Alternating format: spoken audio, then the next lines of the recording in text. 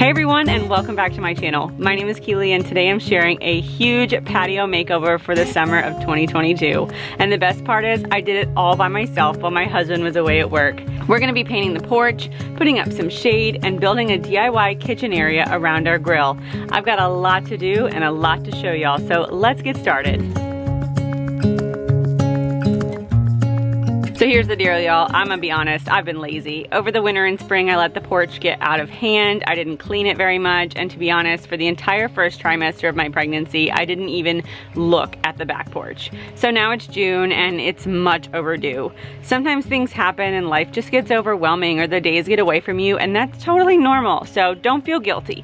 Let this be the motivation you need to clean up a space that really needs it. We all end up there at times, and that's okay.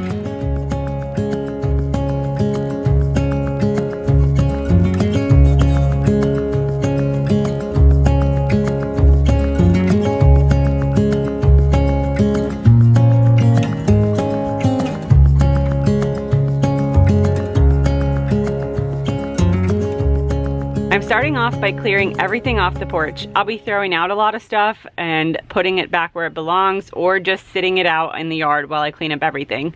As usual, my husband's away for work, so if I wanna get this done, there's no use waiting on help, so I'm doing it myself. I've gained a lot of confidence in the past year doing these DIYs by myself, so I'm feeling pretty good about it. I can't wait to turn this back patio into a nice place to hang out and clean it all up so when my family all comes home finally, we can spend time together out here.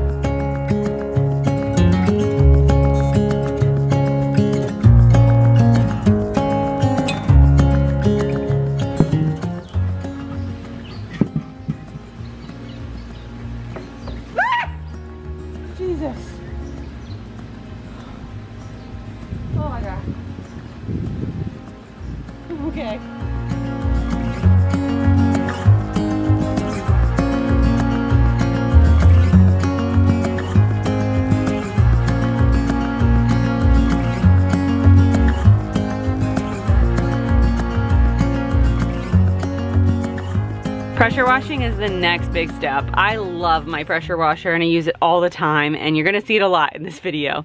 Don't worry, I'll link it down below because it's actually pretty budget friendly. I think my patio is long overdue to be painted again too. We've never painted it before, but the paint from the previous owners is dirty and chipping up in a lot of places. So after some diligent research, I decided I could definitely paint it myself. So I pressure washed it all first to make sure I got up all the dirt. And this was incredibly satisfying because as you can see, my patio is extremely dirty.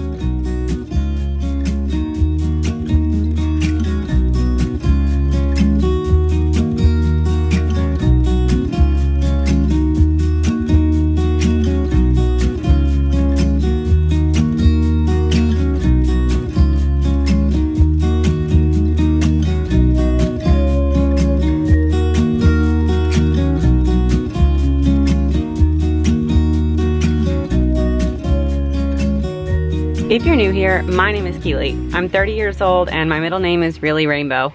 I make YouTube videos about home decor, holidays, DIYs, and motherhood, and I like to keep it real, make things look great on a budget, and I'm not afraid to show you all the messy side of things. I live in North Carolina. I have two daughters who are five and 10, and I'm currently pregnant with my third child. I'm married to my husband, Tim, who works in the oil field, which means he's hardly ever here, y'all. You'll probably never see him, but he does exist. I'm your new mom friend who will encourage you, give you life hacks to be the mom you wanna be, and I promise that I'm never going to judge you. Life is so crazy, so let's just support each other and be friends. I would love to have you subscribe. I put up videos every week here on YouTube, and I also post on TikTok and Instagram every day.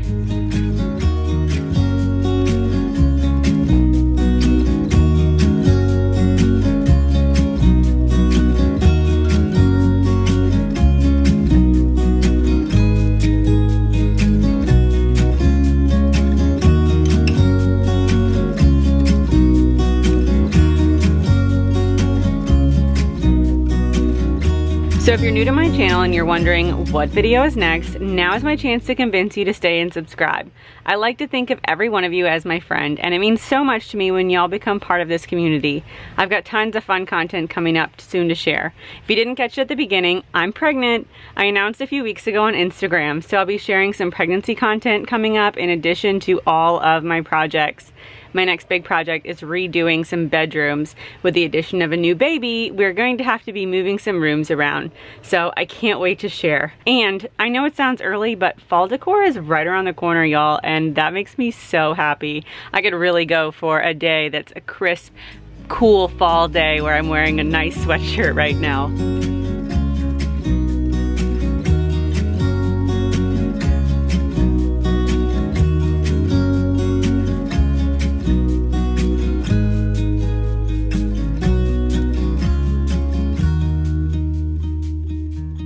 Once I got everything clean, I also decided it would make sense to paint the bench. And I should do that before I start painting the floor, obviously. Since I was going to paint the floors, I didn't have to be careful when painting the bench. So I used two coats of white paint and my paint sprayer to make this bench my husband built three years ago look so much better.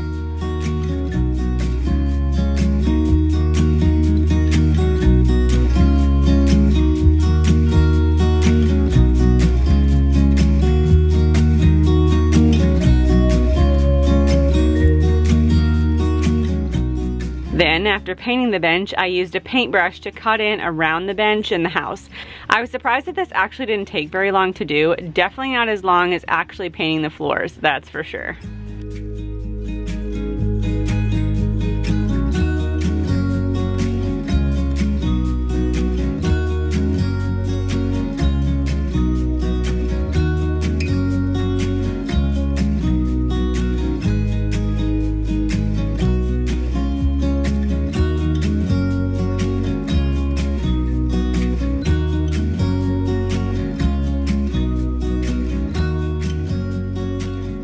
Effort to not kill my back, I got one of those poles for the roller and I'm so glad I did. It took about three hours to put one good coat of paint on the entire porch, y'all.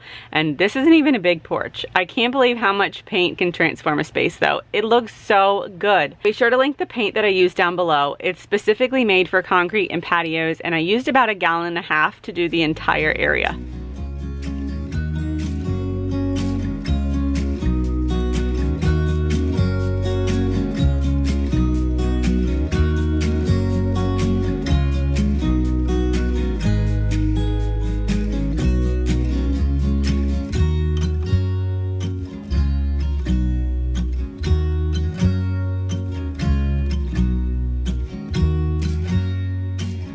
So this video is kind of a part two to last year's patio makeover. If you haven't seen that one, I'm gonna make sure to link it down below for you guys because that's where I did my first initial transformation of the patio.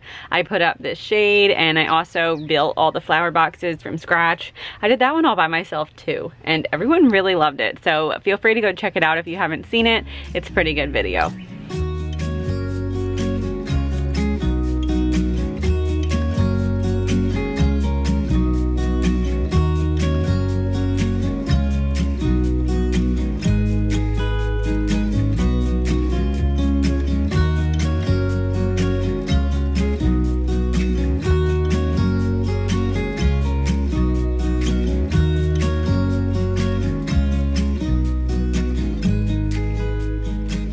Doing DIYs, I'm always learning something. Sometimes I try something out and it doesn't work well. Sometimes I realize I should have done something differently after I do it. And that's part of doing DIYs and learning how to do these things by myself. I'm by no means a professional and y'all know that I'm always honest. So the first lesson I learned this project was while I was painting. So to save you guys the trouble that I had, here's what you need to do. You need to edge the grass around the patio before you paint. I didn't, and it was a pain in the butt for the areas where the grass was very close to the edge. I don't know why I didn't think of this, but now I know, and now you know too.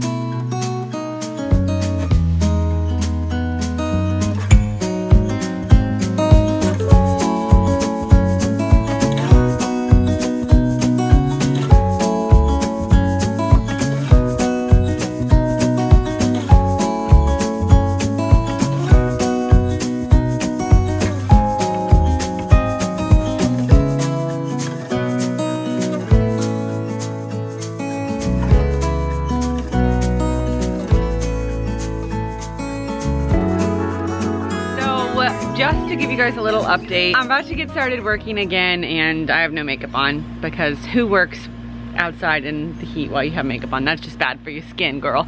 Okay, anyway, I finished painting yesterday and the paint is supposed to take like 24 hours to like dry and it's pretty dry. It was actually pretty dry like after just a couple hours. Dry enough for like the dog to walk out on it to go to the bathroom and us to walk on it if we needed to. Um, it still feels a little tacky when I'm like on it in bare feet. So it does take 72 hours for it to dry completely. There's a couple spots that I'm gonna touch up that like you can just see the like old paint through it.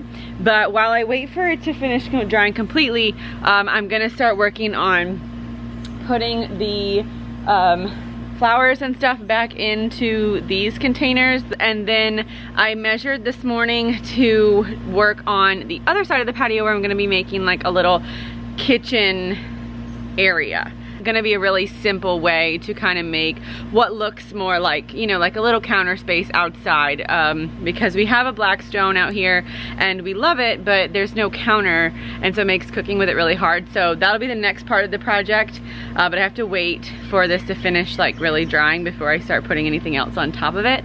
So in the meantime, I'm gonna work over here and get these garden boxes filled back up and this hung back up. So there's nothing wrong with a patio cover that I used last year, so I'm gonna use that again. I'm just gonna hang it back up. I took it down over the winter, and so now I'm gonna hang it back up. It is still, it's hung up on this portion, um, where we hooked it to the roof. A lot of people had questions about that last year, about like how did we seal it to the roof. I don't know. My husband did that part. It's sealed to the roof. It's it's not gonna leak. It's okay everybody's real concerned. This is a process because obviously these things take time to like dry and stuff, so everything is like a slow moving process. It's Nothing is quick, it's not like HGTV. So all of the stuff that was on the patio is just out on the lawn right now. It's just gonna stay there and while I bit of get it all finished. So just bear with me. But this is what it looks like inside right now. I did reattach these and put some braces on the side. This one was broken over the winter because I hit it with the lawnmower. Um, so it looks a little wonky now. It was meant to be budget friendly. It's not meant to be like a permanent fixture in case we decide to do something different one day. And it's built out of fence pickets. So I built that last year in last year's video. It's fared pretty well considering I ran it over with the lawnmower.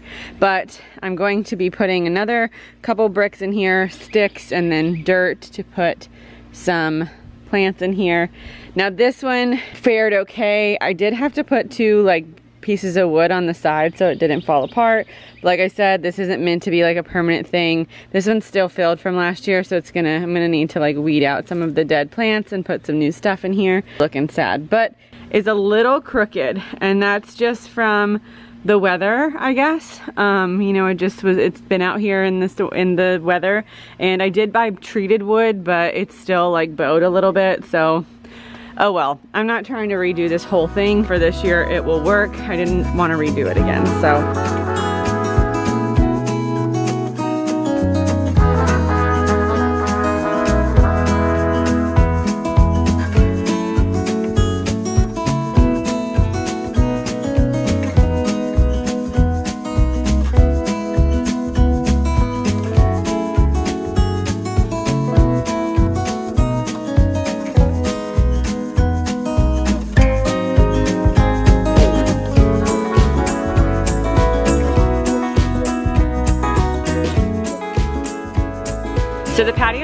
is relatively easy to put up. It's from Amazon and it's really budget friendly. I'll be sure to link it down below too. It provides great shade for this area because it gets so hot out here, y'all. And it doesn't collect rain since it's a woven material, so the rain actually comes through it. It's a great option to create shade anywhere outside without having to build a permanent structure.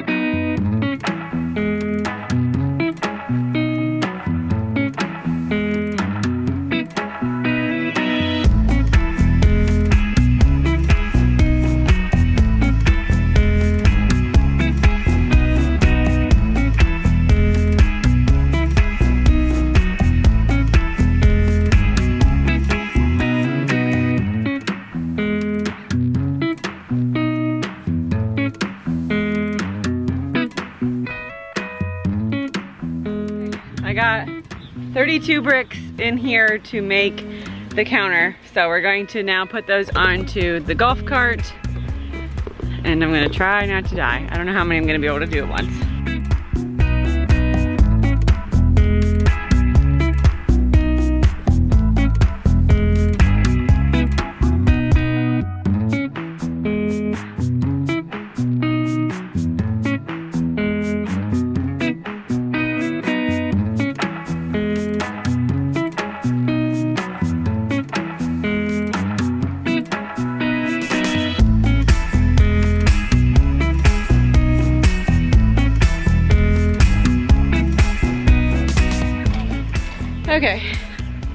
I got two, four, six, eight, 10, 12, 14 in one trip. So that's like a little bit less than half.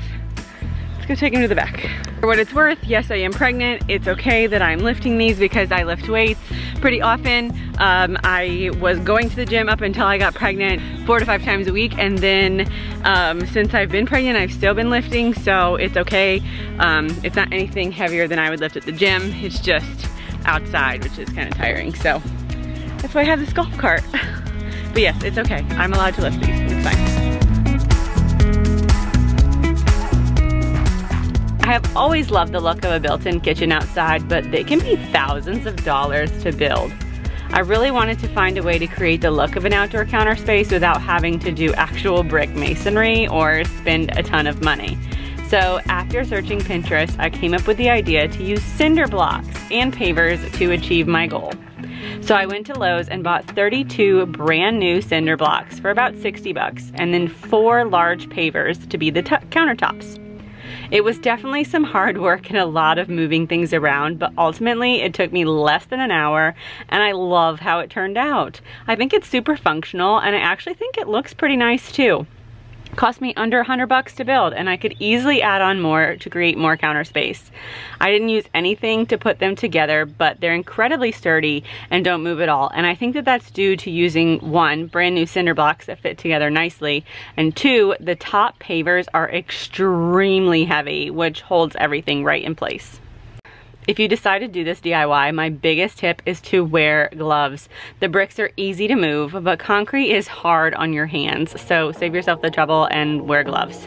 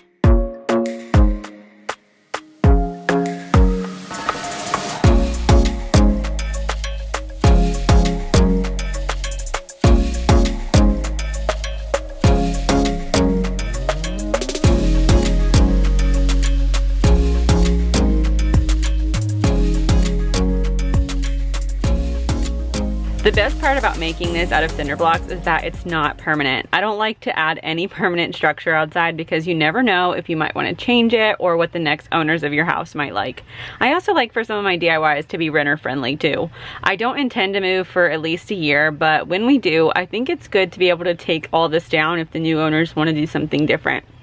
It's also nice because with cinder blocks, you can add new sections or like change it up completely if you got a new grill or something. I mean, sure, would I love to spend thousands of dollars on a custom outdoor kitchen? Absolutely. But would that help many of y'all out? No, okay? I'm here to give ideas for how to do things on a budget with little to no skill so that all of my DIYs are easily doable even by a beginner.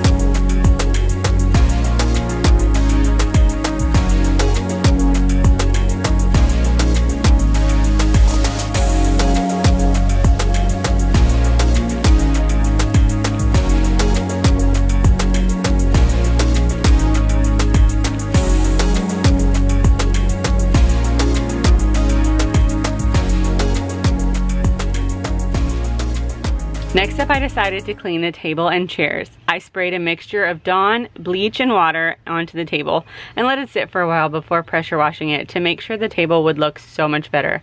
I just have to give a shout out to my dog Guinness for stealing this entire scene. He loves hoses and water, so when I was pressure washing, he was jumping up in the overspray, living his absolute best summer life, y'all.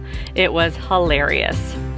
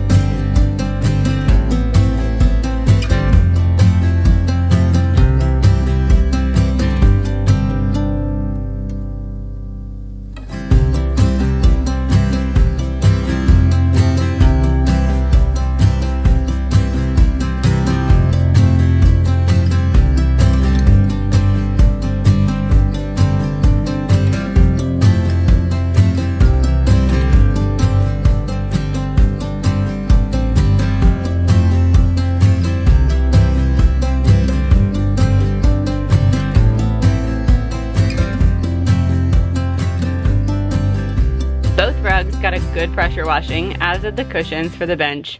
I even fixed up the surfboard table so it could be used again too. For those of y'all that don't know, this surfboard table belonged to my parents. It was an actual surfboard before I turned it into a table. It's one of the few things I have left from my childhood and I've always dreamed of making it into something usable so I hung on to it. Last year I added the legs but unfortunately the way I did it just wasn't that sturdy and so I redid them this year with some heavy duty bolts so it would be much more sturdy now. I also added the lights back up, which make everything look so nice at night.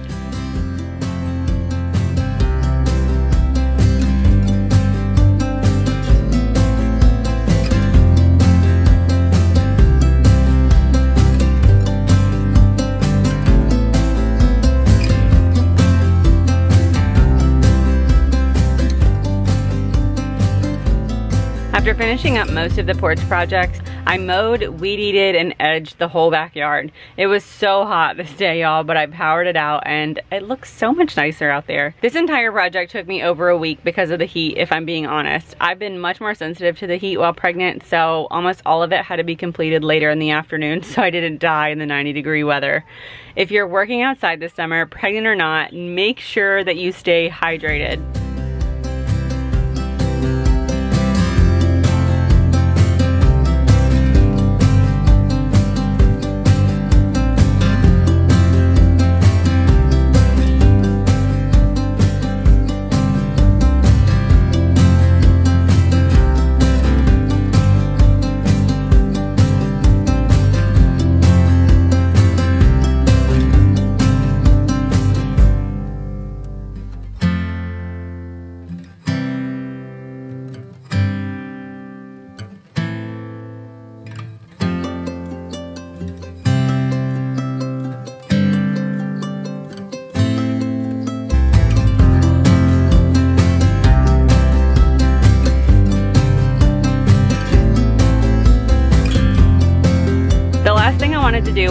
Little bit of decor. I didn't want to do too much because a lot of times the decor ends up staying out through all the weather and it can get ruined. So this year I just put up some throw pillows, a few plants, and this little DIY fire bowl. Not only is it cute, but it also helps keep bugs away too. I got all the supplies from Walmart and just assembled it and I love how it looks.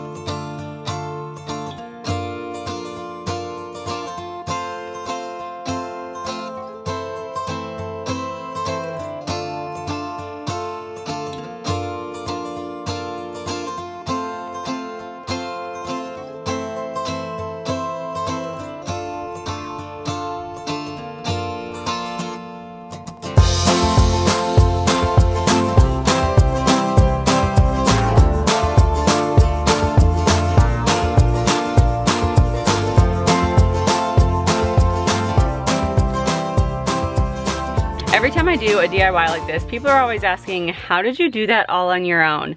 And you know what? I don't have some fancy answer. I don't know a ton about tools or DIYs and it doesn't always look super professional.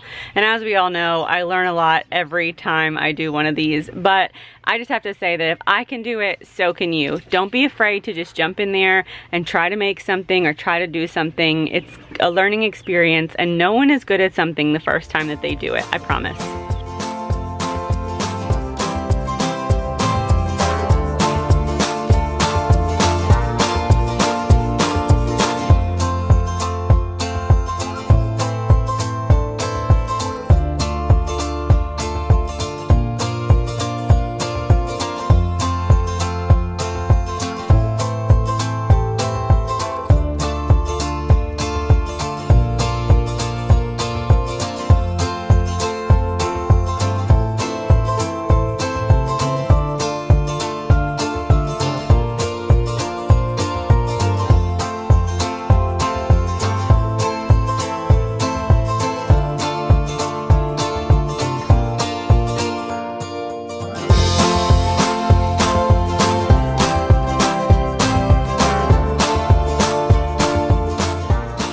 Guys, that is it for today. I hope that you enjoyed this makeover video. I hope that you liked it and that it gave you some motivation and some good ideas for your outside space. If you did, make sure to subscribe and make sure to go follow me and check me out on Instagram and TikTok too. Have a wonderful day and if no one's told you today, you're doing a really great job. I'll talk to you guys next time. Bye!